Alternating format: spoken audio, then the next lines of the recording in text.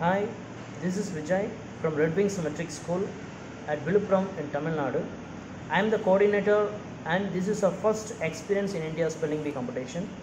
By this participation, we have enhanced our students' interest in spelling and vocabulary and they are really encouraged by this to learn many words and correct spelling.